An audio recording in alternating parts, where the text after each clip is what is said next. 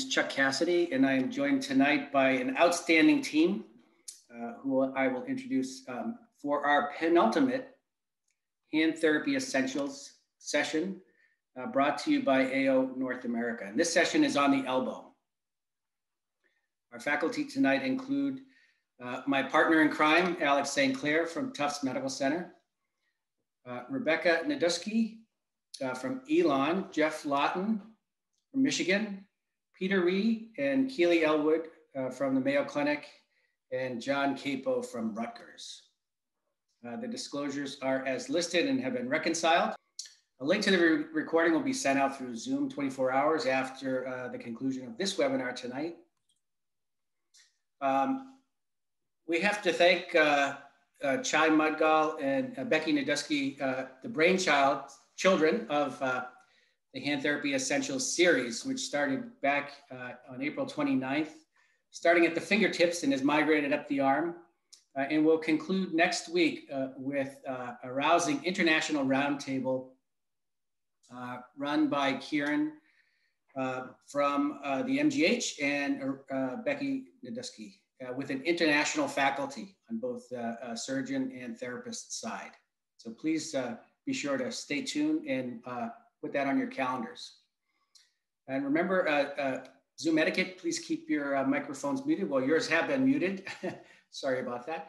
Uh, and use the Q&A uh, for questions related to uh, topic discussions and we'll be happy to either respond by typing or we may bring them up during the session.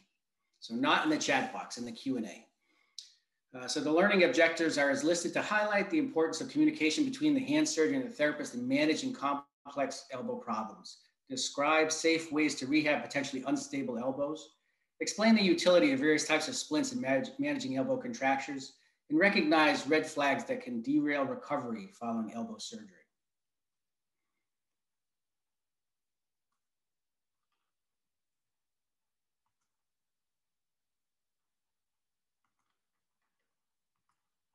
So we're going to start from the beginning, of course,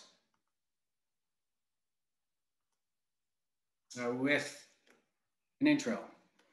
In the intro, we'll discuss functional anatomy and challenges specific to elbow rehab, red flags, and the, uh, highlight the importance of communication between the surgeon and the therapist.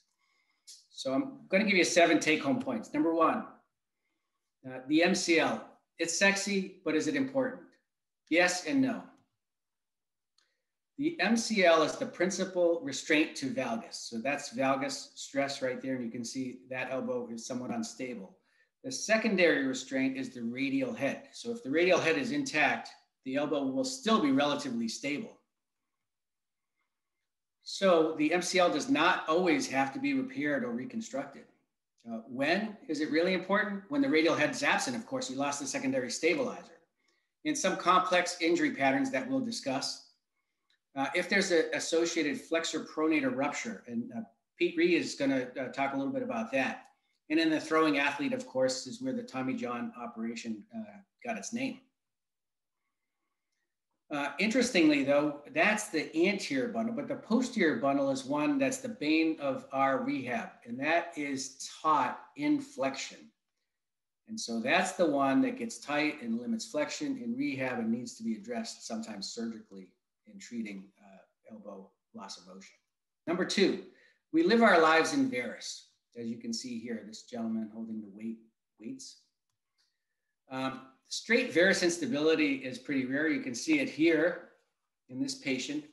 The primary restraint to varus is actually the art articular surfaces, so the medial edge of the uh, coronoid and the medial uh, crista of the trochlea, as you see there. The secondary restraint is the ligament itself. It becomes critically important, however, with injuries such as this, which is a varus posteromedial injury. And you can see that that support on the medial side of the coronoid has been lost and that elbow is going to be uh, uh, really unstable. And that's something you need to discuss uh, with, uh, with your therapist in terms of how best to rehab that type of injury, which usually requires surgery. So the lateral ligament complex is a, is a complex structure that includes the lateral collateral ligament that we discussed. It in of itself is not in incredibly important, but the lateral ulnar collateral ligament is the primary stabilizer to posterolateral rotatory instability. It acts as a sling to help to support the uh, uh, uh, lateral side. And that structure is virtually always injured in a terrible triad. And uh, here's the term, the bald epicondyle. You can see here, the hand is to the right and there's nothing attached to the lateral epicondyle. It's been avulsed. The concept of the PLR is a little bit confusing and it's it may look like a radial head dislocation, but it's not. So the radius and ulna move together. And the best way I've thought of it is to look at the elbow from behind with the elbow flexed at 90 degrees. So the, the ulna is the, is the uh, trapezoid in blue, uh, the radial head is in orange, and then this, the sling is the lateral ulnar collateral ligament. And so with posterolateral instability, the forearm sort of hypersupinates and drops out and the radial head slides out from under the capitellum. And here's a radiographic example in fluoroscopy. You can see the radial head sliding out with the posterior uh, drawer maneuver. Uh, and here's an intraoperative one. This patient's really unstable. You can see uh, depigmentation from multiple steroid injections. So that's a combination of what's called a posterior drawer, popping the radial head out, a dimple sign where you can see there the hollow that's left from where the radial head should be, and then the pivot shift. That that's a pretty unstable elbow. And so in the, pec, in the spectrum of instability, you can see from left to right, the radial head sort of slides out from underneath the capitellum and then the elbow dislocates fully. And you can see that the radial head and the, and the coronoid uh, resist shear and they can be injured if that happens dramatically. So three and four, physics 101. The maximum capacity of the elbow joint is at 80 degrees. So when the elbow is flexed beyond 80 or extended beyond 80, that increases the pressure in the joint and causes discomfort. So that's the reason why patients who have elbow injuries tend to hold their elbow flexed. And that's also why it's so hard to rehab these elbows because in full flexion or full extension, the pressure is much higher in the elbow joint. Uh, number two is that uh, physics with the lever arm of your forearm, if you have a five pound weight in your hand, about three times your body weight goes across your elbow and it, it's heading in that direction, as you can see posteriorly, putting a lot of stress on the anterior radial head and the coronoid. And so the coronoid, again, is a restraint to shear. Interestingly, when you have these fractures, coronoid fracture almost always goes across into the radial head, just like that. It's like you lost that shear uh, protection through the coronoid and the radial head. And what you see is something like this. The coronoid fraction, the anterior head of the radial head, uh, anterior half of the radial head are gone. The radial head itself is not, uh, it's not round. It's actually elliptical and it is tilted a little bit, uh, which it make which makes it tough to repair anatomically. And so, uh, because of that, if it's off a little bit, it produces a cam effect. So this is a radial head implant in a disarticulated specimen looking uh, down the forearm. And you can see in neutral, the radial head sits well. In pronation up above, it still sits pretty well. But in supination, it actually rotates down and out. And here's a close-up view. And that's one of the reasons why people with radial head replacements have trouble getting supination back. It's not their fault, it's the fault of the mechanics of the, uh, these types of radial head implants. And that's why we tend to undersize the diameter a little bit to make up for that. Number five, don't forget the ulnar nerve. The ulnar nerve is in close proximity to, uh, to the elbow joint. In fact, uh, the uh, posterior band of the medial collateral ligament is the floor of the cubital tunnel. So it's right there, susceptible to injury and also susceptible to scarring. Speaking of that, there's this condition called DOUN, which is delayed onset ulnar neuritis, uh, which can derail your rehab.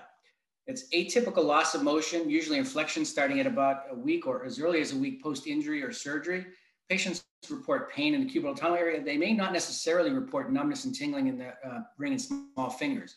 It may compromise the outcome. And uh, if you're a therapist and you pick that up, definitely uh, uh, communicate that to uh, the treating uh, surgeon because uh, that may need to be addressed surgically quickly. Uh, then this number six, heterotopic ossification. For some reason, elbows are prone to develop HO after injury. it's important to worry when a patient seems to look good right after the surgery, but seven to 14 days afterwards, they have their elbow looks a little more swollen, it's warmer. They have lost some of that motion that they had gained. Uh, here's an example of a patient I treated uh, arthroscopically. Um, here, that's the, you can see all the, the stuff in the front of the elbow and the back of the elbow. Did a great job. Was doing well for a little while, and you can see a cloud of bone developing, and that unfortunately progressed to this um, and uh, derailed his uh, his rehab, and ultimately had to have his HO uh, resected. And then number seven, patient expectations. Patients want to have a normal elbow, and that may not necessarily be realistic. Uh, we know that functional range of motion is about 30 to 130 and 50 of pronation and 50 of supination. I say don't limit their goals by any means, uh, but uh, they have to have some sort of um, reality check once in a while. And then patient factors affecting outcome. Post-op anticoagulation can uh, cause hematoma, and that can definitely mess up the, the surgery. Uh, burn or head injury. Uh, males, obesity, opioid use can definitely impact your ability to participate in rehab, pain tolerance, and the worse the fracture, uh, obviously, uh, potentially the worse the outcome. Uh, and so th uh, surgeon therapist communication is essential. Are we on the same page? Uh, so with that in mind, I turn it over to my partner, Alex. All right, thank you, Dr. Cassidy. I'm going to share my screen. All right.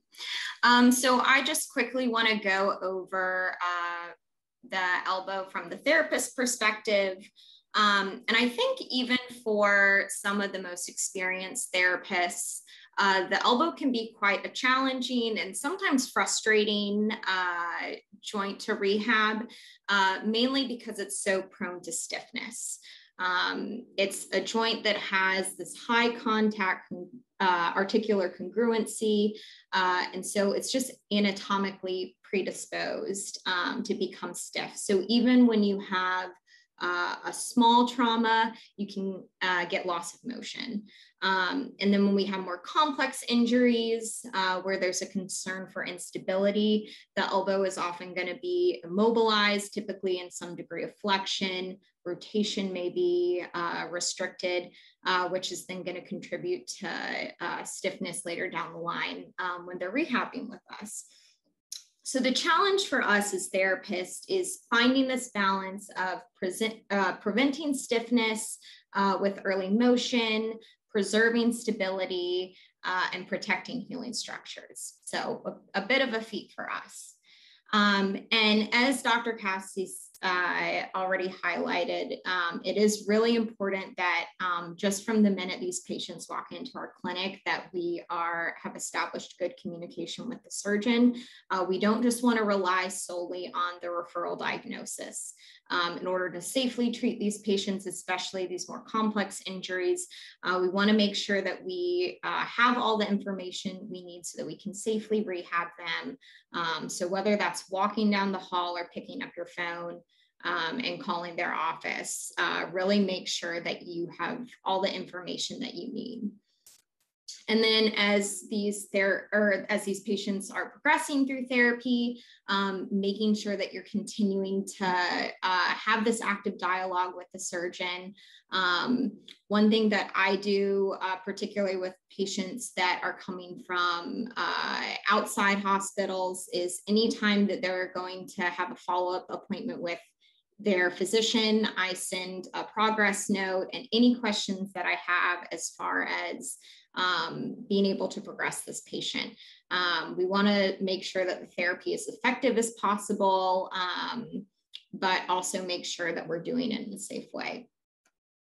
Uh, and then therapists, we just want to think about what are the questions that we need to be asking ourselves. So thinking about what stage of wound healing this patient is in, um, what are structures that we need to protect, particularly uh, if there's ligament injury that we need to take into consideration, um, making sure that we're addressing uh, adjacent joints to prevent stiffness.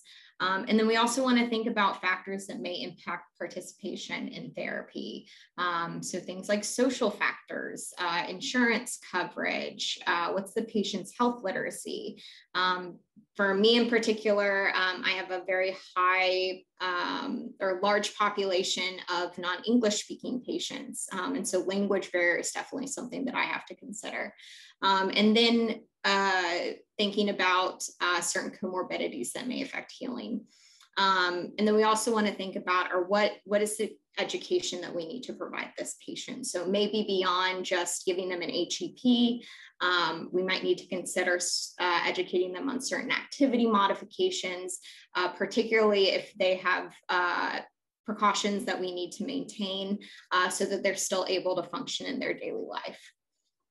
Um, and so for assessment, I think uh, Becky has said this really well uh, in past sessions, and that we as therapists are data collectors. Uh, so we want to make sure that we're getting a really thorough occupational profile, um, getting their social history, what is their lifestyle and their functional demands. Um, we want to make sure that we're uh, assessing bilateral range of motion. Um, individuals' norms can vary. Uh, so we don't want to just stick to what uh, the typical normal limits are. Um, some patients have hyperextension in their elbows. Um, a uh, individual with, you know, a big muscular bicep is uh, potentially going to have less function than someone like me with little spaghetti arms. Um, so using the unaffected side to determine the norms and kind of what you're working towards. Um, and then we really just want to educate these patients. So uh, to reiterate with Dr. Cassidy, we want to make sure we're um, setting realistic expectations um, and that again communicating with the surgeon and making sure that the messages we're giving the patient is analogous with what we're the surgeon is telling them. Um, it's also really really important uh, with these patients that we reinforce um, their influence uh, in their therapeutic outcomes. I think a lot of times uh, people come to therapy and they think oh the therapist is going to fix me and then i get to go home and everything's will get better. Um, but uh, we as therapists are uh, here to facilitate their progress, um, but they really have to play an active role. Um, and then lastly, uh, want to make sure that we're using the teach back method to optimize carryover, especially considering certain social factors. And so takeaway points, um, again, effective communication between surgeon and therapist is super important. Um, with rehabbing elbows, we need to balance goals of mobility and stability while not uh, compromising for one versus the other, uh, making sure we're considering patient factors when establishing plan of care, uh, and making it a collaborative effort between the surgeon, therapist, and patient. Um, and so on that note, I'm gonna stop sharing uh, and then pass it on to Dr. Capo to uh, discuss our first case.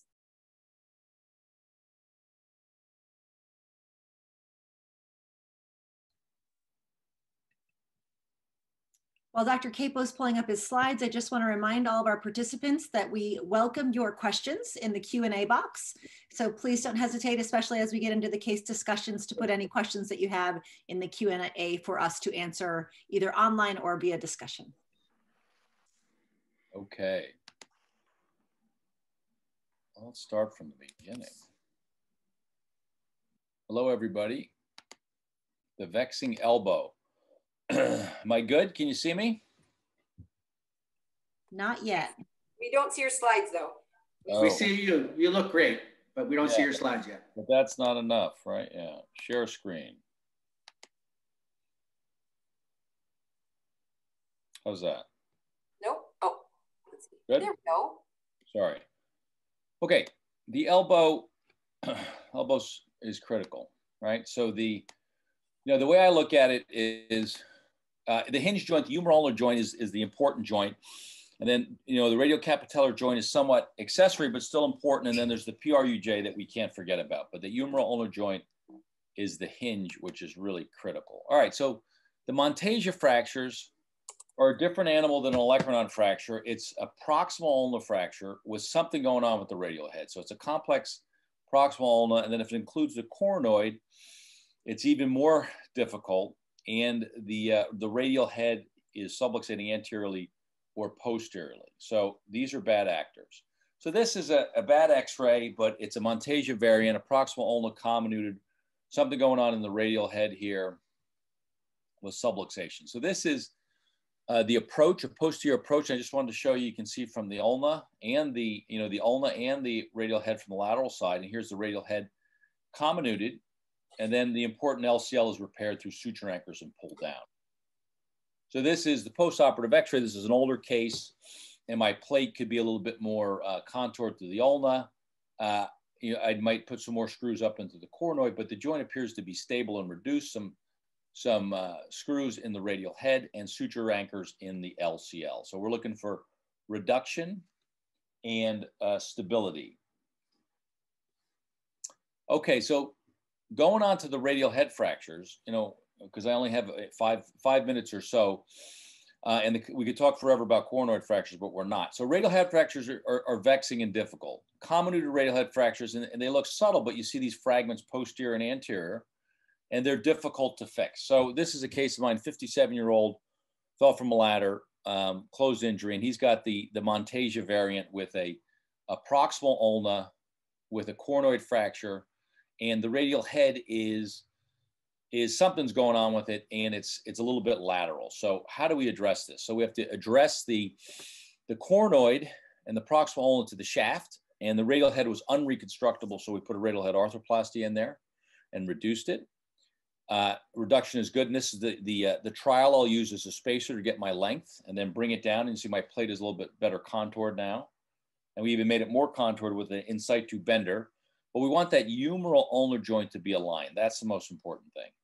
So radial head, uh, this is a spherical radial head. It's well aligned. The humeral ulnar joint looks good. It's, you know, I still worry a little bit about posterior subluxation, but there's some comminution centrally. But I think uh, we have a, a, a, large plate on there that's stable uh, and uh, good reduction. So radial head fractures, why are they so difficult? Because the radial head's not round. Know, it's got angulation on the shaft. The radial head is not perpendicular to the shaft. It's about 15 degrees. There's cancellous bone in the radial head. You can't get bicortical purchase. Um, and uh, you need to be in the safe zone. So you're, if you're up here on the radial head, the plate can be prominent. And the, the PRUJ is flat and the lateral surface is more contoured. So this is another case of fracture dislocation, radial head um, fracture and the uh, humeral ulnar joint is dislocated. We reduce it, and this is common. And I'll go back. She's 32, so you know this is a hard one to fix. But she's 32. Uh, she doesn't want, you know, she wants her normal joint. She says. So I try as much as I can to to fix these. So treatment options are, are closed treatment, no. ORIF the radial head, um, or, or ORIF the radial head, sure. Let's try to do it. Metal radial head, maybe. Silicone, no. So any silicone radial heads don't work. So this is, you know, the comminuted fracture. There's three fragments, and, and, I would still try to fix this in a young patient. So three fragments, um, and you know, just because it's on the back table doesn't mean it's going to die. It's not like a femoral head. We put it together, and a reasonable alignment. You can see because of the angulation of the radial head, the plate doesn't go 90 degrees. I've got some separate screws in the head, and her humeral ulnar joint appears to be well aligned. And we try to get that plate in the safe zone. And Bob Hotchkiss talked about it. And it's really the, the lateral side or the radial side with the arm in neutral. So plus or minus 90 degrees or 110 degrees, that's where it wants to be. And even if it's there, and I'll go back, you know, that radial, that radial head plate can be prominent and bothersome.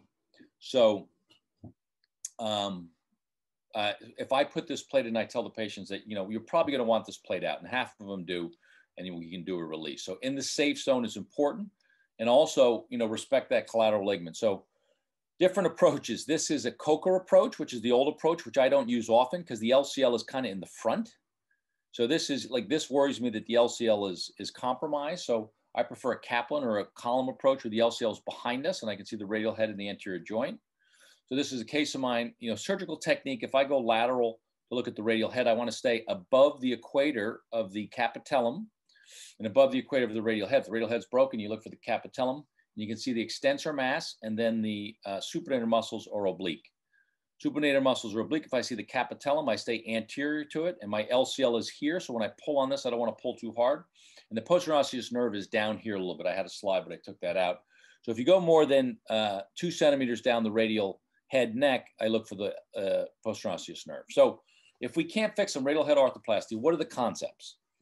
Um, the concepts are uh, if you cannot replace it, or if you cannot fix it, you should probably replace it for stability because there's associated bony and ligamentous instability and elbow subluxation. So there's a lot of different radial heads out there, but what do we know? We know that um, we need a metal radial head, a rigid radial head. We want it to be modular, where there's a stem and a head. And it appears that chrome cobalt's a good joint bearing surface. and you know the best ones seem to wobble in the in the the neck and kind of self-align. And when we size it, we don't want to do too big, as Chuck said. You know, don't overstuff it. I look at the height of the coronoid to, to match it, and then I look at the medial humeral ulnar joint line to um, uh, to line that up to make sure the radial head is properly aligned. So this is another case, 67 year old female, low energy injury and comminuted radial head fracture, small fragments, couldn't fix that. You can see she's in a little valgus um, and replaced it and replaced it. And I think there's a, a suture anchor in the coronoid as well, anterior capsule, suture anchor in the LCL. And it looks good, you know, looks good lined up. Uh, but this is her at five years, and this is kind of how they look a lot. You know that the radial head's you know bouncing around in there, but she's asymptomatic. She has good motion, and she's happy. So if you replace the radial head, I tend to leave it in and don't take it out because you never know if there's other instabilities. But there's little osteophytes in HO. So conclusion, the radial head is an important structure. Complex elbow fracture dislocations, RAF or arthroplasty is indicated in these combined uh, uh, cases, these um, comminuted cases. Excision is very rare, you know, and um, it's only if it's a chronic arthritic elbow that maybe we do, or a rheumatoid that we do an excision. So that's what I have. Thank you.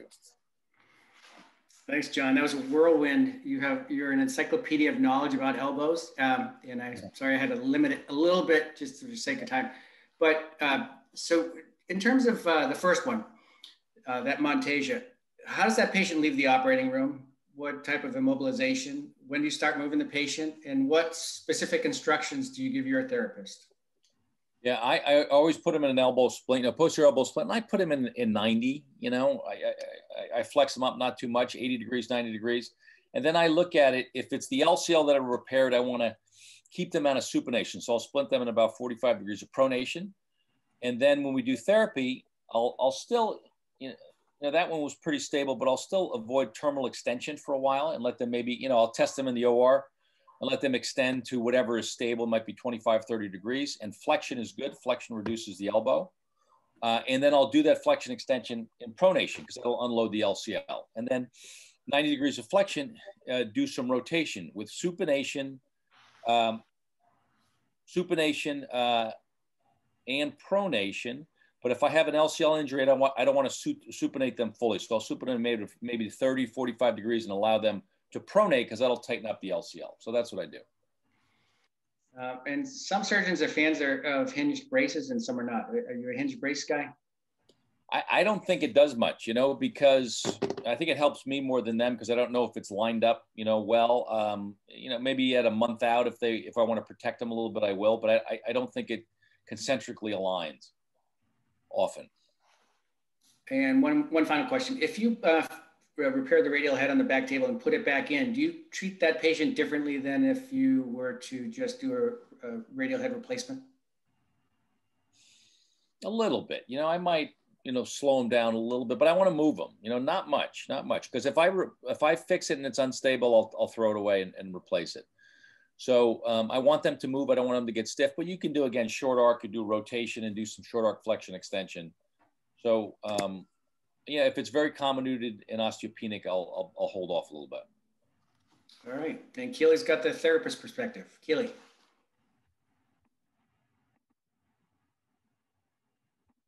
Hello, everybody. Just pulling up the slideshow here. Um, so we're looking at the posterior Monteggia fracture repair. So again, what Dr. Capo had mentioned, and what Alex had mentioned at the beginning, really critical to think about the key structures that are involved in repaired in surgery. That stable joint of motion or stable range of motion and ensuring that we're maintaining that as well as keeping um, keeping the joint stable and keeping the range of motion within functional planes. So looking at the stability of both the proximal radial ulnar joint and the distal radial ulnar joint, um, sometimes we'll see these patients with their post-op still in place. So looking even distally if they have swelling, if the wrist is not included, trying to manage some of that kind of even before that post-op comes down. Um, and Alex touched upon kind of all of these um, topics as far as looking at evaluation. I think one thing I like to provide some education on is thinking about um, skin hygiene, skin breakdown on um, kind of axillary hygiene, making sure that they're not having any guarding postures, making sure they're moving fingers and shoulders as soon as possible. Um, the next slide here has just some functional range of motion. So thinking about getting clients and patients back to function as quickly as possible, but thinking about the range of motion that we will need to obtain this. So this is a systematic review that I found that looked at degrees of elbow flexion and extension required in functional tasks that I thought was kind of a nice reference, but also thinking as we're talking to patients, looking at their goals and kind of their top priorities to return to functional activity. Um, typically, we like to see these patients five to seven days post-op. Um, sometimes we remove the post-op, sometimes they will be removed by the surgeon prior to the session. Um, big proponent, especially looking at the elbow, is edema control and pain management.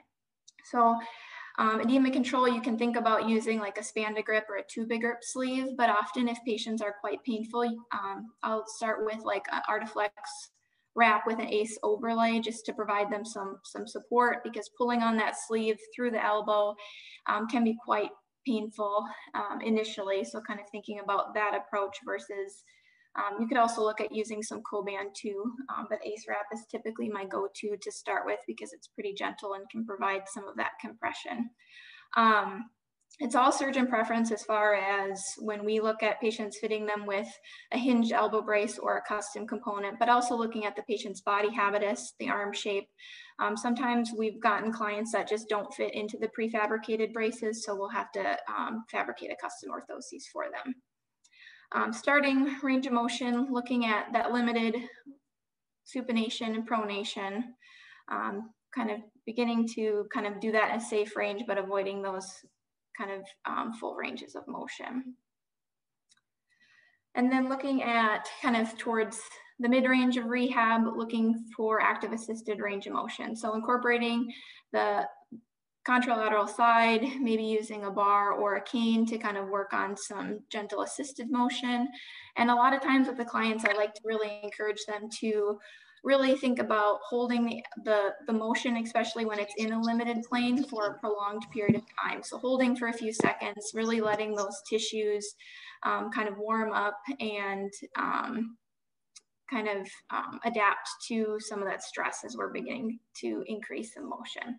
And if motion's not progressing, once the elbow is deemed stable, typically for us, it's anywhere from a six to eight week follow up with the surgeon. Once we get that green light, then we may start looking at some static progressive orthoses. So looking at something that is custom order fit for the patient or um, kind of on the right hand side of my slide is a custom fabricated option that I've done before. It's a, it's a posterior elbow, but the trough through the forearm is widened quite a bit to be able to allow for a wrist support underneath to kind of give a little bit more pull using Velcro for that rotation.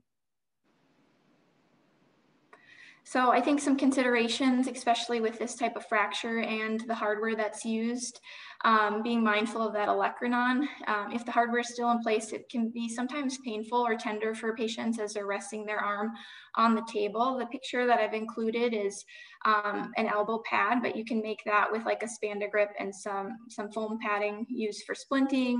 Um, you could use like an ACE bandage or even a rolled washcloth depending on, on the um, on the patients and demands that they have. Always being mindful of ulnar nerve symptoms, um, really managing that edema right away, making sure that they're not having any intrinsic hand weakness, always keeping an eye on that. Um, and then really emphasizing and looking if you have the opportunity to see the operative report, what structures were repaired, um, being mindful of any sort of contracture or heterotrophic ossification. So really being mindful and taking very thorough measurements to make sure that you're able to see progress with your patients. Um, if we have some time, not sure if we have time, Becky, here with this section. I don't know if there's any questions right now that we can address. We don't have any questions right now, Keely. Okay, then I will pass it off to Dr. Rhee. I have a question, Keely. Yes. Um, can we talk about the psychology of uh, dealing with patients, especially anxious patients? Mm-hmm. About uh, what's the, how do you distinguish good pain from bad pain? Um, well, and especially with the elbow, I found that the patients that I've worked with are, are really quite painful. And so I like to kind of my phrase is really, you know, when you're having doing the exercises, some discomfort is expected, like tightness, like you're stretching a hamstring, or kind of some muscle tightness, like you're um, trying to lift a heavy weight. But really, within five to 10 minutes after terminating the exercise, that pain should really be subsiding.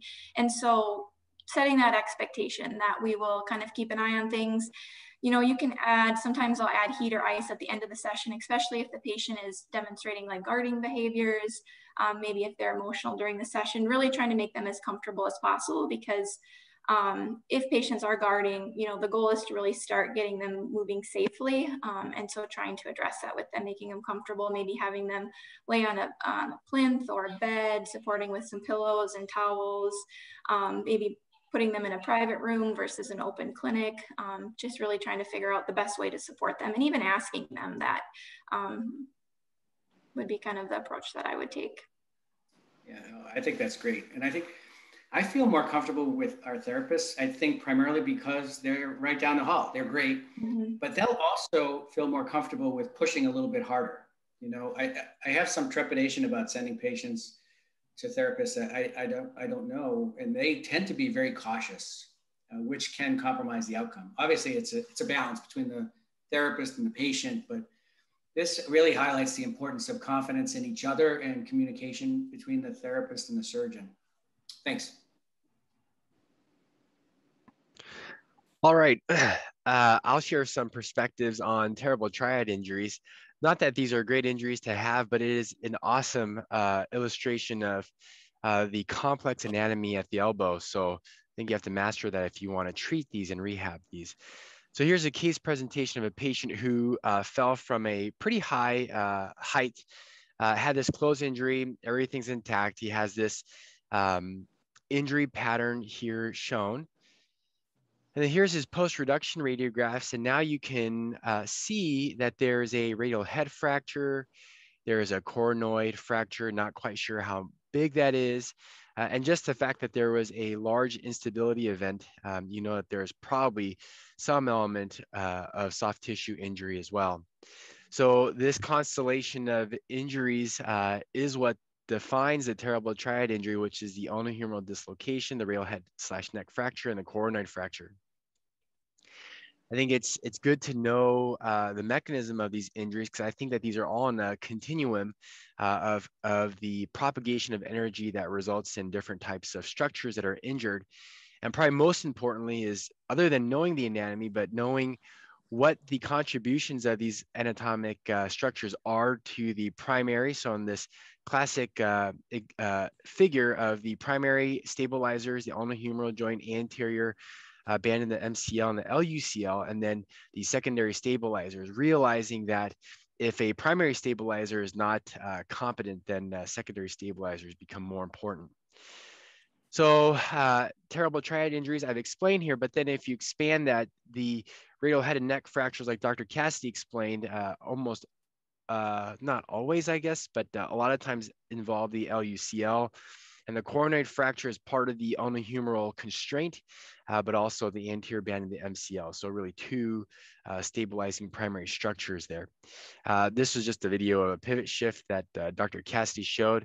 I was just thinking, man, when I lived in Texas, I was really tan there. Living in Minnesota, it's a, we're a little, little um, less tan. Anyhow, um, so these are the preoperative CT scans, and you can see here there's a radial head fracture. Here's the axial of the uh, anteromedial coronoid, uh, coronal of the coronoid, and then there's a sagittal of the coronoid too. So my surgical plan here was to reconstruct, uh, to do a radial head arthroplasty uh, because I did not think I could reconstruct that. It was too comminuted repair the LUCL as well, and then uh, fix the coronoid. Uh, so I think I've established or restored the stability to these uh, primary stabilizers. Now, if the patient still has some instability uh, at the ulnohumeral joint, and typically we'd see that with a sag sign on a true um, lateral, then I will uh, uh, usually, if I can stabilize them in form pronation and get um, get uh, uh, get usually that will stabilize the um, ulnohumeral joint and the radiocapitellar joint. Uh, I will do that and keep them in 90 degrees. It's pretty rare that I put a patient into dynamic external fixation. Uh, usually I can get them maintained with a with forearm pronation or if I need to, a static external fixator for just a couple of weeks. And as we know, the elbow gets pretty stiff. And as long as we can keep it reduced, um, I think it's a necessary evil. So for radial head, uh, I guess in terms of rehab considerations, if I do a radial head uh, open reduction internal fixation, I may be a little more cautious because I don't, depending on the stability of the fixation. But if it's an arthroplasty, I want to get more aggressive with the elbow motion and forearm rotation. Uh, probably more importantly, though, is the LUCL. Uh, with this repair, I really tell patients and therapists that I don't want them to abduct their shoulder because that puts such a varus load on the elbow and that can cause attenuation or even laxity or rupture of the LUCL, and also to avoid maximal supination because that causes the radial head to roll out, as Dr. Cassidy described in the PLRI or the posterolateral rotatory instability but I want them to move in flexion extension pretty quickly. And that last component is that coronoid fracture. Now, not every coronoid fracture needs to be fixed, and I'm talking about the small avulsion fractures. Um, if it's if I feel like there's still instability at the ulnohumeral joint, uh, and there's too small of a piece for any type of meaningful fixation, I'll just grab that anterior capsule and do this capsulodesis. Whereas if it's large enough, then I can put a little buttress plate on there. That then goes to how aggressive I want patients to move in terminal extension. If I do an anterior capsulodesis, I may want to limit that because uh, I don't want to tear out. Um, and also, uh, depending on how big or fragile that fragment is, I may not, I may really want to shut down any type of rotational torque uh, imparted on the ulnohumeral joint and the greater uh, sigmoid notch. So I think abiding by that uh, and being aggressive, I think this is a pretty good outcome for um, a patient that had this uh, uh, terrible, terrible, terrible triad uh, injury. and I can't stress enough how important uh, the communication is with the therapist. Now, what I worry about is in a patient like this who had quite a bit of uh, another terrible triad. You can see I did the anterior capsulodesis because I couldn't get them uh, couldn't, it wasn't sizing, sizable enough to fix. And then you can see uh, at two weeks, this patient is already unstable again. Uh, and so I had to revise this patient. So I think um, uh, definitely important to uh, have some, I think your rehab, post-op rehab um, is about 90% of the success of the surgery. Thanks.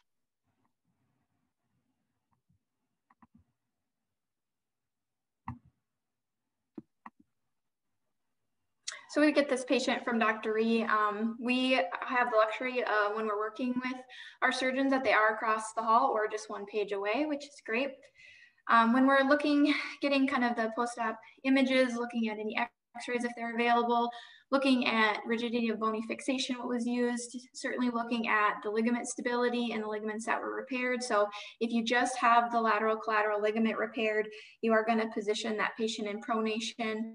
If both the lateral collateral ligament and the medial collateral ligament were repaired, then typically we'd go in neutral, but talking to the surgeon about that, trying to figure out ideal positioning and really being mindful about forearm rotation um, seeing this patient. So I have another picture here. This is a kind of a different type of static splint that we have. Um, it's a delta cast. But when we're progressing range of motion, again, getting the patient in a position that's comfortable. So oftentimes to start that supine, able to kind of isolate the forearm in a pronated or pronated position and kind of work on some flexion and extension. I think one big thing Dr. Rhee talked about is avoiding that shoulder abduction as well as internal and external rotation. And a big piece of my patient education initially, especially to optimize comfort, is even thinking about sleeping. So often, um, you know, trying to avoid kind of internal rotation, maybe propping with some pillows, but also when we're thinking about edema management, not necessarily having them put their arm up with pillows or on the back of the couch, you know, finding that balance between appropriately elevating but not putting any stress on those ligamentous structures. Progressing to um, kind of as the sutures or staples are removed, thinking about that soft tissue, trying to be even a little bit more aggressive, monitoring that, making sure that you know everything is healing correctly but again trying to push that range of motion working towards getting that flexion back especially for function it's going to be more important than the extension. And then looking at again communicating with the surgeon if needed looking at a static orthosis to kind of progress extension if needed looking about three weeks um, And then I think an important thing too with this type of injury is trying to strengthen the dynamic elbow stabilizers, looking at supporting the arm on a tabletop and working the wrist flexion and extension, kind of working that strengthening, making sure we're getting some stability um, just to aid to the stability of the elbow itself. And um, often with any sort of traumatic elbow injury, thinking about any sort of soft tissue tightness. The biceps, triceps, any pain around the scar. Um, I included a picture. Sometimes we'll use some instruments to assist working on that soft tissue because it can be just another limiting factor to achieving the optimal range of motion.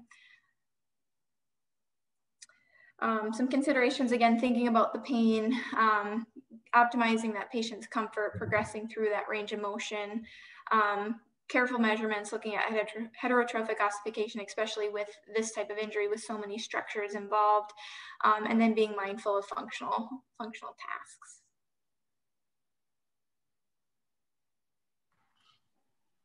Are there any questions?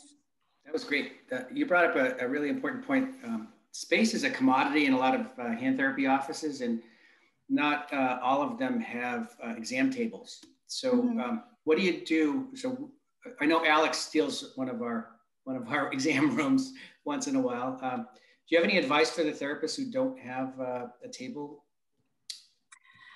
Um, I think so. If you're looking at um, you know, having the patient recline down, even like a fainting chair, you know, just getting them reclined, getting the arm supported a little bit.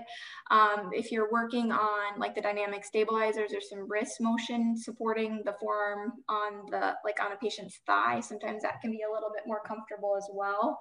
Um, even like having them stand, um, support their upper back against the wall to do some range of motion can be other, other options that I would look into, but Alex might know of some more too.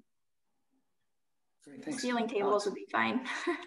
yeah, I, uh, I, so our clinic room is a bit of a glorified closet. Um, so uh, oftentimes, yeah, I am uh, st either stealing a clinic room from one of the doctors or using um, one of the beds in the cast room. um, there have been occasions where uh, just for some reason like those rooms weren't accessible. And um, what i will do is either i will get a table that you can adjust the height um, or we have like big like fat textbooks that i'll layer with towels just to get them um, to where that arm is supported on the table um, and then stretch them from there. So it's not ideal but um, there are ways to to finagle it so I just need to make it clear that uh, hand therapy does not fall under hand surgery or orthopedic surgery in my department. That's true. Yeah. I've been trying to advocate for at least a window in her office. Yeah, I, would love okay. to see some sun, but I think you're up next, aren't you?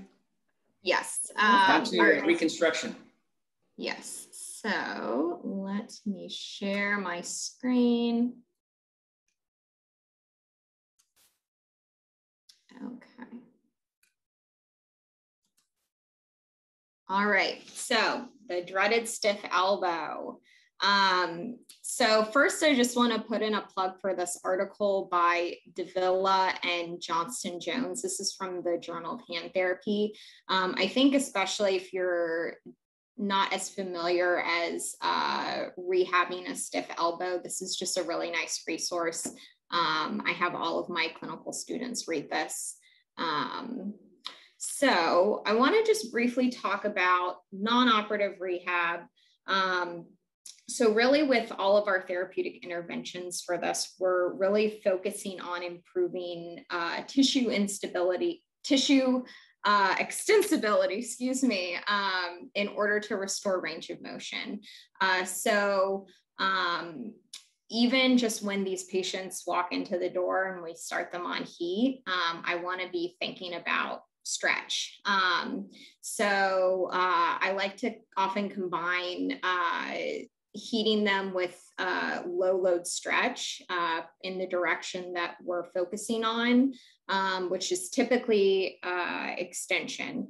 Um, so here is a picture um, right here of uh, how I would uh, support, make sure I'm supporting the upper arm and shoulder, um, adding a weight just to kind of produce a nice uh, stretch. You can also stretch them into flexion. You just want to be mindful when you're doing this that you're not provoking any ulnar nerve symptoms. So you just want to make sure that you're checking in with these patients uh, while they're heating up.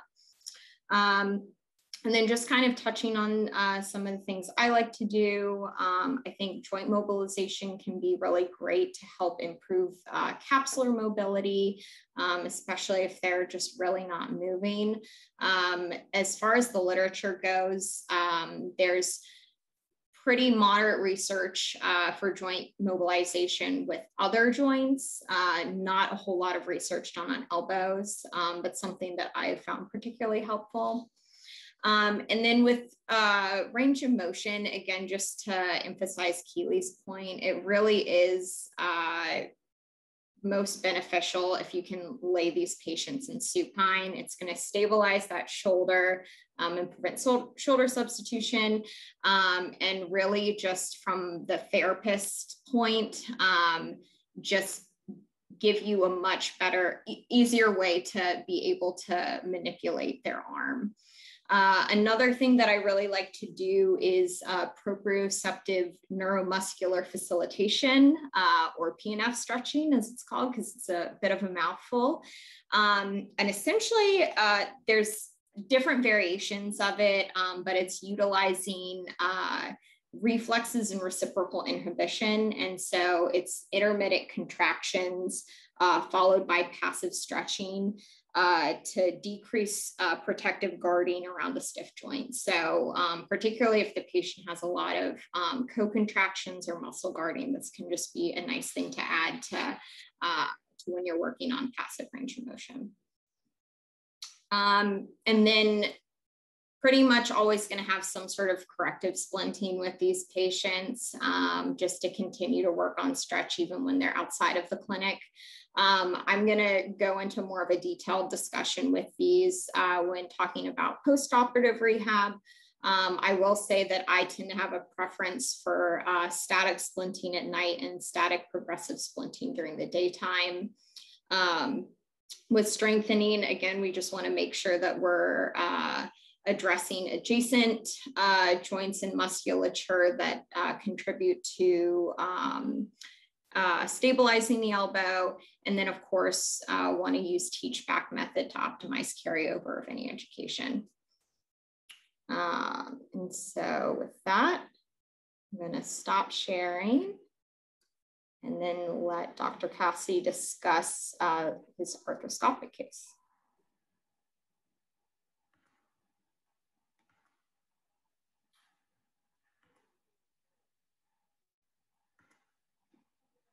That was great. Uh, one of the best quotes I heard about advice uh, to patients was from uh, Bob Hotchkiss, and that was, uh, don't work on real estate you already own. Love that quote. Uh, but when to operate, who knows?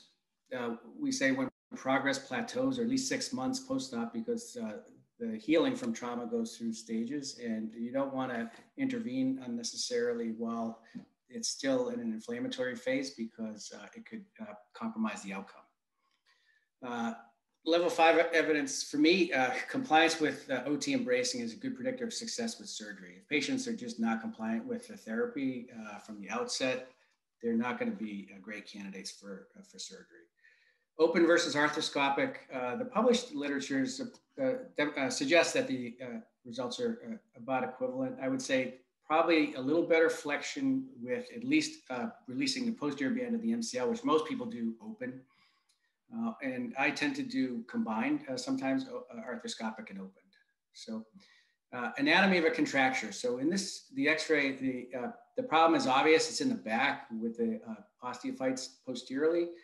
But the problem that's not obvious is the capsular contracture, which always accompanies the, the problem in the back. So you have to address both the bony problem and the capsular problem to achieve correction.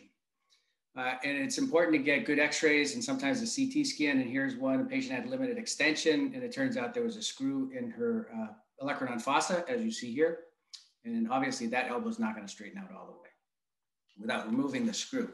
Uh, this is a professional boxer uh, who uh, had trouble defending himself because anytime he tried to block a punch, his coronoid osteophyte would hit his uh, coronoid fossa and it would hurt. Um, and so this is pre-op and post-op, and you can see uh, we tend to overdo it a little bit because we know this is arthritis and it's going to come back. And so we, we want to give it, uh, we don't want to give it a head start at recurring. So you can see what was an outie is now an innie, and the coronoid tip is now uh, gone to uh, create more, uh, more room, and he went back to professional boxing. Again, don't forget the posterior MCL.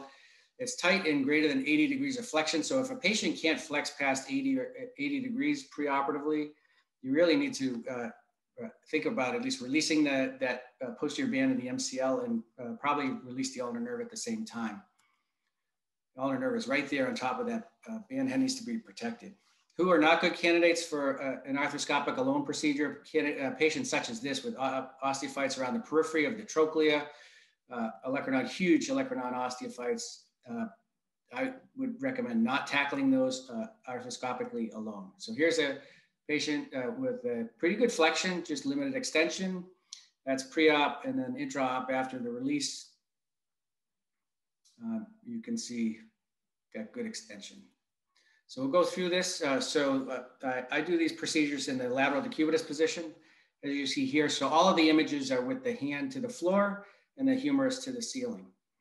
Uh, so uh, it's helpful to have a, a number of uh, portals. So you may see patients with uh, multiple incisions, and sometimes we'll put a retractor in, which may be just a blunt piece of metal that will just hold the space open. So when we use the suction on the shaver, it doesn't collapse. So here, the humerus is up. So we're above the coronoid, and that's a burr, taking out the osteophytes above the coronoid fossa to allow for some more space and that's that rod that I mentioned. See, you can see that's holding the capsule open. The anterior capsular release, um, th these are intra-articular adhesions, as you see here. So if, if you talk about arthrofibrosis or intra-articular adhesions, this is what they look like. Um, so the next step for me is often if the space is really tight is to peel the capsule off the anterior uh, distal humerus like that to open up the space. And then we actually divide the capsule and it does reform. Uh, and so we open up the capsule like that. That's a type of scissor that we use arthroscopically. And then sometimes we'll take some of the capsule away so that there's not a head start for that capsule to, uh, to grow back. Normally it's really thin and you can see here it's pretty thick. Uh, debriding the coronoid, so that's the coronoid with a burr and uh, you can use the burr to, uh, to debride the, that osteophyte there like that, or you can use an osteotome, which is a little more risky uh, but you can take it off in one piece and you're not creating a lot of bone debris doing it that way. Um, the fossa can get obliterated as well. And so you need to make space for the coronoid. And this is a curette cleaning out that space uh, to find the native bone. Uh, and that's a burr used to uh, make that a little bit of an innie, like I mentioned.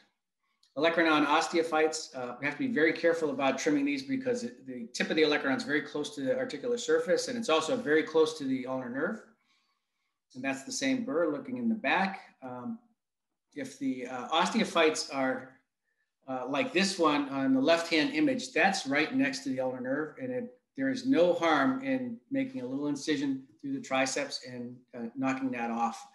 Uh, much safer than trying to do it arthroscopically. And if there's a lot of stuff like that image that I showed earlier in the back, uh, like you can see the loose body in the upper left, uh, the crap in the fossa, uh, much easier and really little morbidity of opening it in the back. And it also saves a lot of time. And that's all of that stuff that we get out in the back. And if I had done that arthroscopically, it would have taken me 45 minutes and I wouldn't have done as good a job. I just want to conclude with one. This may seem counterintuitive, but uh, she had an open distal humerus fracture, a brachial artery uh, injury, and she required a free flap and she needed this masquelet, so a staged reconstruction and she had a very stiff elbow, so 60 to 105, that's her, and you can see her flap. Uh, and I had no idea where to make an incision if I were to do it open. Uh, and so we did it arthroscopically, and uh, this is what we got. It was, uh, it was, it was awesome. So uh, arthroscopic, I think uh, anecdotally that the recovery short term is, is definitely quicker than doing it open. but there are indications to do it open, and Jeff's going to talk about that um, next. Jeff. Thanks, Chuck. Those are great cases, and um, the uh, you know he showed you a, a, number of five to eight second clips, but those surgeries are an hour and a half to two hours at least. Um, so you know that's a lot of a lot of effort that he just showed uh, boiled down and distilled very quickly. So um, we're going to talk about the stiff elbow, um, looking at open um, capsulectomy. So again, um, we use our elbows for different things nowadays, uh, but, it, but it's really important elbow motion to the entire upper extremity. Um, and estimates have shown that the elbow motion is about 70% uh, of the entire upper extremity with flexion extension, as John said, uh, being relatively more important uh, percentage-wise than forearm rotation. Um, this is the last Detroit Tiger that did anything. Unfortunately, now he's with the Houston Astros, um, but uh, so be it. So th this number gets quoted a lot uh, in terms of what's normal and what's functional, but realize that someone can have a pretty significant decrease amount of motion, but not uh, have a lot of impairment. So um, I think Chuck mentioned in the beginning about um, uh, managing a patient's expectations. Uh, it's very important because what might seem like a big difference side to side isn't a huge functional impairment. And the same with forearm rotation um, that a big uh, decrease uh, doesn't actually lead to that much impairment. So here's a 29 year old woman, uh, assembly line worker who injured her right arm at work, uh, now has uh, fairly limited motion with significant loss of flexion uh, and ulnar nerve symptoms. And despite all the non-operative management that you've heard about, no improvement with uh, conventional therapy, some static progressive splinting, uh, so now we're going to operate. And then the question is, do we go medial or lateral? Uh, and sort of along the lines of what Chuck was saying with the uh, delayed ulnar nerve, um, we go medial and this is a, a, shot. So the, the shoulder is to the right, the hand is to the left. Here you see the ulnar nerve uh, and here's that thick capsule. So this is what Chuck was cutting arthroscopically. Um, we're going to excise it um, with a big scissors. Uh, again, ulnar nerve back here. And then when we're done, all that capsule is gone uh, because as Chuck says, it does reform and tries to defeat our best efforts. So um, we, we, get her moving fully in the operating room, uh, but more importantly, uh, you can see here she is at eight or 10 weeks um, and she's smiling uh, and is happy with her results and no more ulnar nerve symptoms. Uh, here's another patient, middle-aged uh, fella who had radial head fracture uh, and was doing well, but uh, as Chuck said, sort of started uh, started doing well, and then and then uh, did worse and worse and worse. Uh, developed, as you can see, this heterotopic ossification. Um, as you can see here, he's limited in flexion and limited in pronation, and you can see his HO. Um, so in this case, we want lateral um, resection of the anterior capsule and uh, heterotopic bone, uh, importantly preserving the lateral ulnar collateral uh, ligament, and then resecting posterior capsule. Uh, and then here you see after uh, resection uh, of capsule, resection of heterotopic bone, and in this case, a radial head resection, and good restoration of, of motion. So uh, that gets to the point of um, the concern for HO and um, as, oops, as uh, was mentioned, uh, prophylaxis or anticipating it is more important than reacting to it once it's occurred. So this is a guy that you know right off the bat, you're gonna prophylax him. Um, my go-to is, uh, is a delayed uh, or a sustained release anti-inflammatory called Indocin. Uh, if someone has GI issues and can't take it, um, we've shown that uh, radiation, prophylactic radiation is successful. So uh, I put in a number of uh, references uh, for you all to read. And thanks. Chuck, I did want to respond. You, you posed a question and, and it's sort of the, uh, the ultimate nightmare of what do you do when someone, after you do a complex elbow surgery, is going to a therapist that you're not familiar with um, and again, we like to have them go to our own uh, therapist that we're familiar with. We don't all have that luxury. Um, and one of the things I do to try to um, set the patient's expectations is I'll actually tell the patient, I'm going to be the bad guy. I'm going to push your elbow to the degree that I'm comfortable having it pushed. And I want them to get a mental image of what that feels like so that they can tell that therapist who, you know, may want to be a nice person, but isn't pushing them hard enough. And as you said, is too cautious um, and that way the patient sort of has a mental picture of, of what their therapy should feel like. So thanks. Can you, can you just comment on, on why, why not radiation? Why NSF, why not radiation? Uh, I'm sorry, I, I, lost you a little bit. So uh, my go-to is um, is Indocin, uh, which is an anti-inflammatory. If the person um, has an issue with it, if they have ulcers or gastritis or something like that, um, no qualms about using radiation. I think, I think it's funny because you wrote a paper, you're, you're author of that paper demonstrating good results with radiation, but you're not using it routinely for. Dr. Cassidy, something's going on with your, your um, audio. So I think, Chuck, I think the question is if we we wrote a paper showing good results with it why don't we use it routinely I, I, is what i was sort of getting from that um, and again um, I, I, think just because from a patient standpoint it's sort of scary and intimidating and you know they're recently post-op and you're packaging them up and sending them to you know a different part of the hospital to get radiation therapy and you know the radiation therapists talk with them about a 1% per year sarcoma transformation and things like that so um, e even though I'm, I'm, okay using it in terms of concerns for wound healing and things like that, um, just to not expose patients to that. Um, and if you can take three weeks worth of an I think that's a pretty modest intervention. Just, just if, if a patient has um, Chuck, I think uh, we need to maybe yeah. maybe uh, I'll, I'll answer a question later. While Chuck is adjusting, I want to log off and log back on, or um, I, I don't with your audio. There we go. While Chuck right. is well, anyway, I'll stop sharing. And Jeff, can we ask a question of Peter?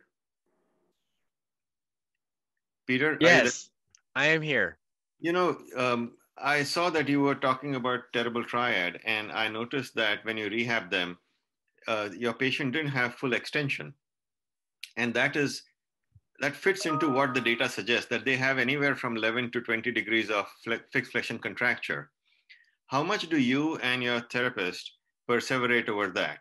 Or do you have a comfort zone about how much flexion contracture you're willing to accept? Um, I, I guess I don't.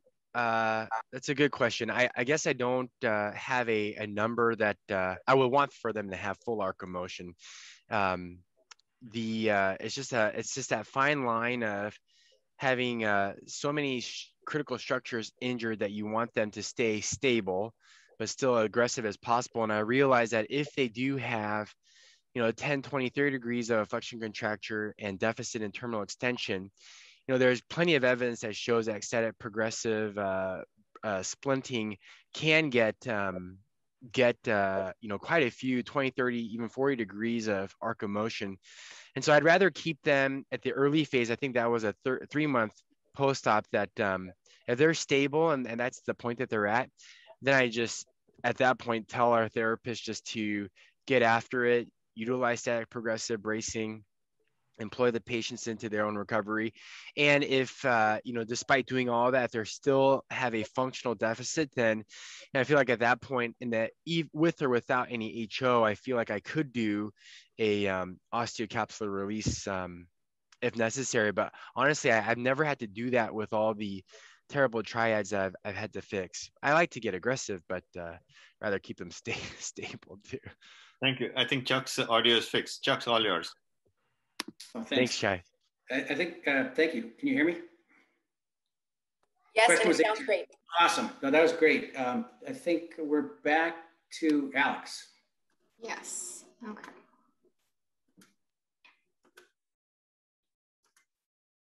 All right.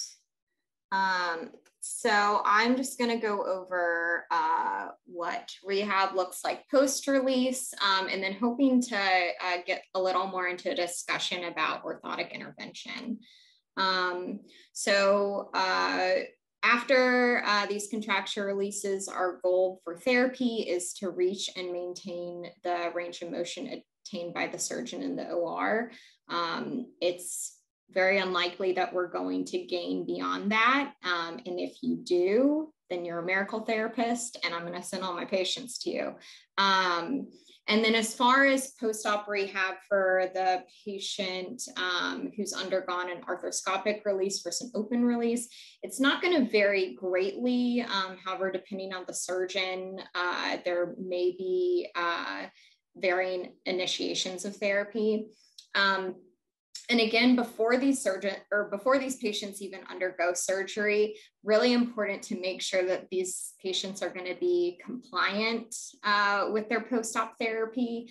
Um, adherence to therapy is such a strong predictor of outcomes with these procedures. Um, so make sure that that's established before they uh, go under the knife. Um, and so just considerations, um, things that I like to know is what was the etiology of the contracture, what was causing the limitation, um, what was their pre-op status as far as their range of motion goes. Um, obviously wanna know what the type of release was, um, need to protect certain structures, typically not. Um, and then what's the status of the ulnar nerve? Um, were they symptomatic prior? Um, was there any manipulation of the nerve during surgery? Um, and are they symptomatic now? Um, and then again, important that we know what the intraop range of motion was, as what, well as what the surgeon's expected outcomes are. So we know what kind of know what we're working towards. Um, again, want to consider uh, different patient factors. Um, and then again, setting realistic uh, goals with these patients, but also ones that are client centered. So I'm typically going to see these patients uh, within the first 24 hours um, after their surgery, uh, typically post-op day one. Uh, sometimes I'll see, just given the setup of uh, our hospital, um, if they are admitted overnight for um, prophylactic radiation, I may see them uh, in while they're still admitted and inpatient.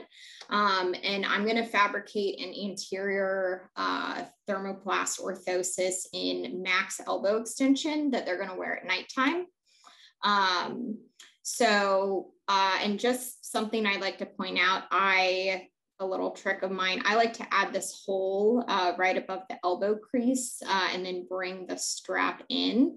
Uh, I think it just gives a nice mechanical advantage and that way the patient can actually pull their elbow up into the splint to get a nice stretch.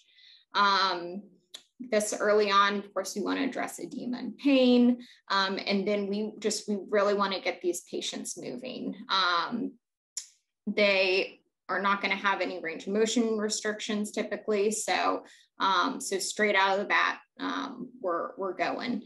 Um, and with that in mind, we do still want to respect pain um, and be mindful not to uh, cause any kind of inflammatory response at this point. Um, but we still do want to be pretty intensive with uh, with getting them moving. And, um, and so then I'm typically going to see these patients for two to three times a week for the first six weeks. Uh, and then um, if they're doing pretty well, decrease that frequency to one time a week and follow them for about 12 weeks. Um, and the uh, rehab is going to look fairly similar to uh, non-op. Um, just other things we might consider is uh, particularly for the uh, open release that we're managing the scar, preventing any adhesions, um, neuromobilization, particularly if the, they're symptomatic in the ulnar nerve. Um, and then around four to six weeks, um, if they're progressing well and their range of motion is improving, uh, work into uh, progressive resistive strengthening. Um, and then if uh, we're working on flexion, uh, we may need to add a flexion orthosis at this point. Typically, I stick with uh, working on flexion during the daytime. Um, I do not like the idea of uh, splinting someone at nighttime in flexion. I think you're just asking for uh, an angry ulnar nerve. Um, and then again, seeing these patients for about 12 weeks. Um, but if uh, particularly with static progressive splinting, I may have them continue to wear the splint up to six to 12 months, uh, as there is literature that you can still continue to make gains beyond uh, that time frame.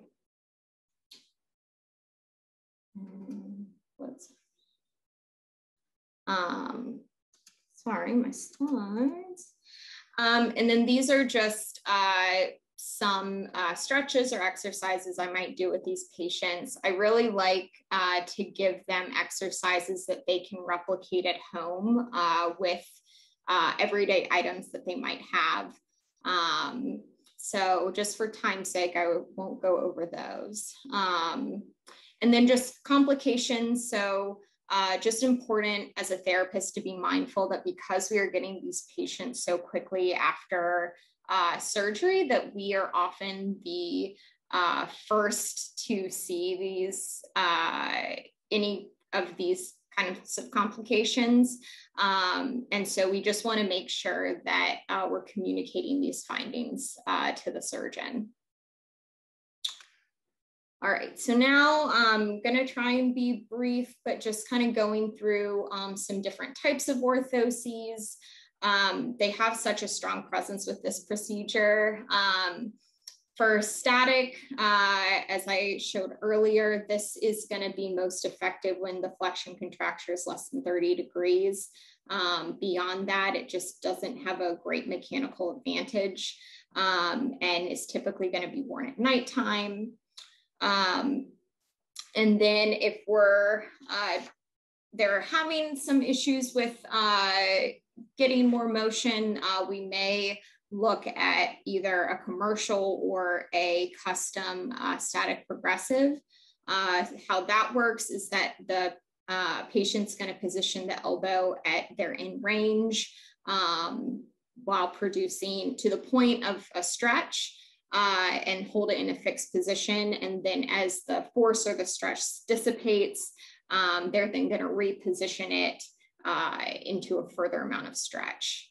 Um, one thing I like about uh, static progressive is, um, especially with the commercial ones, is you can use the same orthosis to work on both flexion extension. Um, one downside uh, is that, uh, as particularly with this one, this is a JAS splinter joint active system, uh, is that once you get to a certain degree of flexion, it's not really going to help you with in range flexion. Uh, so you may have to consider uh, something uh, like this, which is made in the orthotics and prosthetics department um, at our hospital. So um, then there's also dynamic, uh, which is exerting a constant force via an elastic or spring mechanism. Um, I find that it's often less tolerated than static progressive, so I typically uh, don't use these. Um, and then continuous passive motion, um, I've never used in my life. Um, I don't think patients tolerate them well, and I think there's a risk for neurologic injury or wound dehiscence. Um, so, which is best? We don't know. Um, most of the research compares static progressive to dynamic, um, and a lot of it just says that uh, there's no significant difference and uh, it's really based on patient preference. Um, as far as optimal wear time, that is also unknown. Uh, it's important that we're considering the individual patient's tolerance, what are logistical concerns as far as how long they can wear it, um, and further research is definitely warranted. So I will leave that. Well, thanks. It sounds like Pete, Pete and I are disciples of uh, the Mayo Way, and uh, my uh, guru is uh, Dr. Morrey, uh, who advised his patients to wear braces 23 hours a day. He'd ask them what they wanted more, extension or flexion. And if they said extension, they'd wear the brace. And so John also, right? Where they wear the brace in extension for eight hours, then they'd wear a flexion brace for eight hours, and then wear extension brace for seven hours, and then they could take it all off to take a shower and move their arm a little bit and then put it back on. Um, and I am a believer, uh, but I don't have uh, any idea of how compliant my patients are or how compliant Dr. Morrey's were.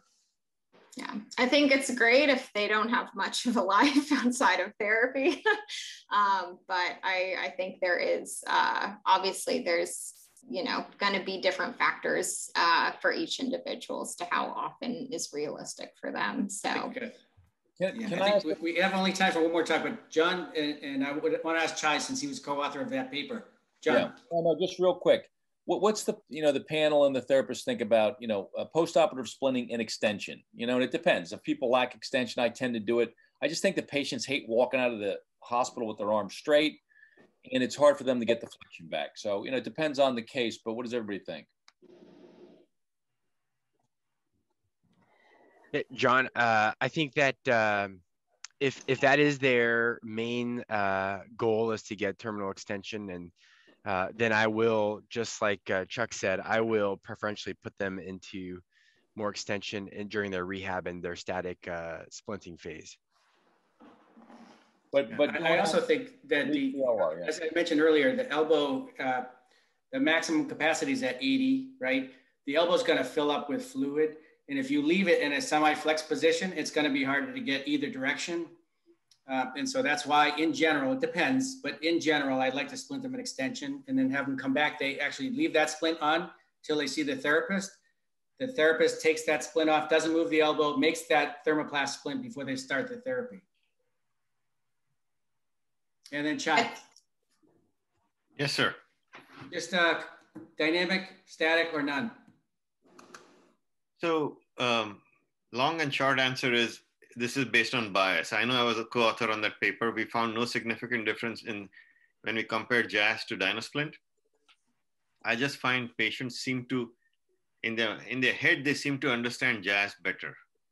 So maybe that's my bias, but the turnbuckle concept appeals to patients much easier. So. Okay, yeah, I think the the Dynasplint's easier to apply, but the jazz is easier to use, I think. Yeah. But all right, why don't we finish out with uh, this has been a great session and the time is flying by. Uh, Pete and uh, Keely. Pete. All right, uh, let me share my screen once again. Uh, we're just going to shift uh, a little bit to the um, medial collateral ligament or anterior band reconstruction. Uh, here's the case as a, as a patient. He's a ski instructor who fell on his non-dominant arm uh, a little bit uh, a while ago. Um, no reported elbow dislocation, but he has the sense of instability in his elbow, and he has this positive valgus, uh, moving valgus stress test that was described by one of my partners, Dr. Uh, Shawn O'Driscoll. And I put this in here mainly not not because uh, you have to do this exam, but you know most people that don't have an anterior band of MCL don't don't necessarily need surgery. But in patients that do this often, like throwers, then um, and it's painful or there's uh, instability, then um, it's a good uh, option for reconstruction. So in this patient here, here is MR cuts uh, T1 and T2, and you can see that there is uh, the loss of the entire uh, anterior band and MCL off of the sublime tubercle. So just reiterate that this is a primary stabilizer, so it um, it will cause some instability, either subjective or objective there's a lot of ways to reconstruct this, and I think probably the most popular way is this docking uh, technique, which I'll describe here. Uh, proximal here is to the left of my screen, at least, and then uh, distal to the right. Um, this is uh, similar to your inside ulnar nerve decompression. Here's the medial epicondyle, if you can see my cursor. Um, and then once you move a lot, uh, the mobilize and protect the ulnar nerve, you can do your arthrotomy here. This is the only humeral, um, sorry, the um, distal humerus medial condyle that the uh, ligament has been ruptured and here exposing the sublime tubercle right here. Uh, I think everyone differs, I think, on how they actually dock this allograft or autograft tendon into the sublime tubercle of the uh, proximal ulna. I just use these um, this device to create a bone tunnel uh, through which then I can shuttle my graft and then that then comes back up to the origin of the anterior band, the MCL, uh, just at the anterior inferior portion of the medial epicondyle. Um, and this docking technique really is to create this uh, bone tunnel to deliver uh, these two strands of your of your graft through. Uh, this is just uh, an illustration of trying to get the isom isometric point in both flexion and extension, so you get you get this reconstructed correctly. Uh, and then you pull, oh, I'll go back here. You pull that through, and everyone differs on how they secure this uh, dock, if you will. I just pull these suture tails out through bone tunnels and tie over a bone bridge, which uh, is is pretty stable, but certainly not as stable as a um, interference screw. And then here's management of the ulnar nerve with a anterior subcutaneous transposition.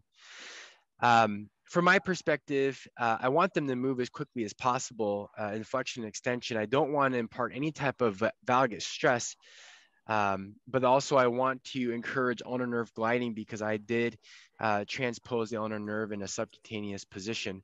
I really think that the the your surgeon's comfort and how aggressive you are with range of motion is again dependent upon how comfortable and confident they are with their docking if they use the uh, docking technique here. And I just put just some examples of how people do that. Interference screws are very strong. I still feel pretty comfortable with my docking technique with the pull through over the bone tunnel. And I think using that and uh, having a great partnership with your uh, therapist, uh, certainly here, I'm very blessed with that. Um, you know, I, this patient uh, actually two day, uh, two weeks after his surgery said he's going he was going to Europe for the ski season. He swore he wasn't going to uh, uh, ski, but he came back afterwards, and I think he did a pretty good job, even doing therapy on his own with a home program. Stop sharing here.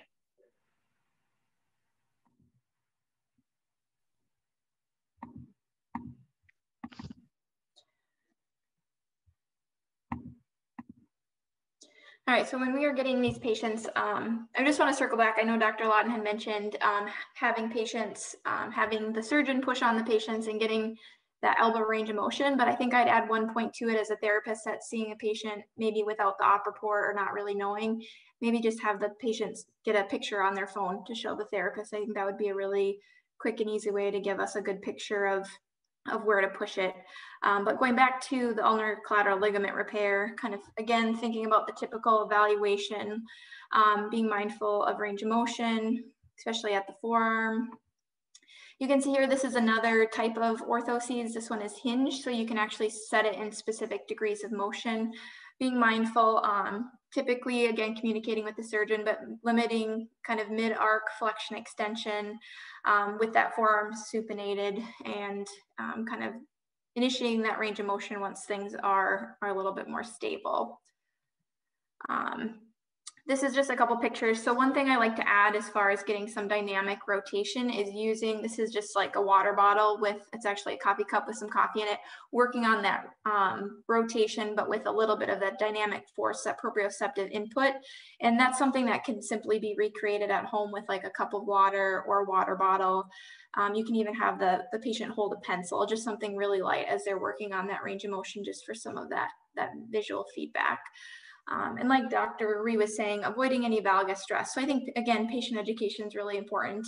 Um, avoiding that motion, even if it's something as simple as rolling over in bed and pulling bed sheets, you know, avoiding any of that pull at, um, at the medial collateral ligament. Um, and then two, just to give them some long-term support, looking at different types of like neoprene elbow supports, especially if they're getting back to higher level activities and kind of gradually increasing isometrics, kind of working on some of that stability before you start doing any kind of dynamic strengthening as far as TheraBand or with free weights. So I kind of went through that quickly. I think we're a little short on time, but if there's any questions. That was great. I have a question for both of you, um, just in terms of expectations for return to work for a laborer. So that sounded like that guy was maybe a laborer. So uh, when does that guy get back to work? Well, I like to crack the whip pretty early, Chuck, and so I kick him out. Okay. Um, well, I think it just depends on uh, definitely pre-op uh, consideration of what their expectations are, and if they have a, a job that um, allows them to wear their orthosis in uh, the position that typically in that situation I'd put them in elbow uh, flexion and uh, neutral uh, forearm rotation. Um, if they can accommodate that, then I get them back to most clerical or supervisory jobs right away. Um, I, I wouldn't, I, I, don't let them go back to anything else um, that uh, would allow them to come out of their orthosis at least up until six weeks post-operatively at that point. Um, if they're fairly compliant and um and uh, then I, I may let them do a little bit more. Uh, Keely, if they're a laborer uh, in terms of strengthening, getting them back, what do you think? Um, I think, you know, respecting the timeline that Dr. Rhee puts out, but I also think like working on grip strengthening, um, working on safe wrist strengthening with that elbow supported, and also working on like upper back and rotator cuff strengthening, doing that safely, maybe starting with some isometrics, um, kind of working on some isolated scapulothoracic strengthening too, especially when they're returning back to that high demand task. You don't want the shoulder capsule getting tight at all because that's just going to limit them as they're, especially if they're getting back to a higher demand. Task. You don't want any of the biomechanics to be off once the elbow is kind of in working order. Great, thanks. I'd like the, all the speakers to pop back on the screen and uh, to, to thank you all. Uh, Keely and Jeff and Alex, Pete, Becky as always, John, and uh, for Chai and Becky for coming up with a concept. What a, what a great concept and a great uh, six weeks so far. Thank you. And thanks to the uh, participants for joining us and staying loyal to, uh, to our program over the last uh, month and a half. Thanks, everyone. Thanks so much, Dr. Cassidy, and to our really esteemed colleagues in panel. We just can't thank you enough for your time, your participation, your energy, your engagement. Um, I know I, I, I, don't want to speak on behalf of our participants, but based on the questions and responses we're getting, we're, I think people are just really grateful that, for the opportunity to have this education. So um, Dr. Mudgal, do you want to add anything before I wrap us up? No, I'm just smiling because I'm loving it. yeah. Nice work, everyone. And thank you. Well done. This is really fantastic. So just so you know, as we move out of our session tonight, um, you can access the recording. It will be sent to you um, through Zoom 24 hours after the conclusion of this webinar. But also, if you check out the AO North America um, YouTube page, you can find all the talks from this and many other great sessions that have happened over the past 18 months. So please check out the YouTube channel and share it. I'm really excited to announce eh, or to just remind everybody about our last session. So our final session in this series is an international roundtable. We have guests from Sudan, South Africa, Malawi, Guatemala, um, Argentina, Colombia. And so we have many wonderful guests that are coming to bring us great cases and really to help us think about hand therapy and hand surgery in resource um, strapped or research um, poor, resource poor, excuse me, areas of our world. And we are really excited about the learning that will take place for us from them. And I just think in, the international exchange that will happen will be very exciting. And we really hope that you will join us next Thursday for our final session. So with that, um, our whole Hand Therapy Essentials team thanks you very much for being here tonight. And uh, Mackenzie, if you would go ahead and pull up our poll, we will wrap it up for the evening. Thank you so much and have a wonderful weekend, everyone.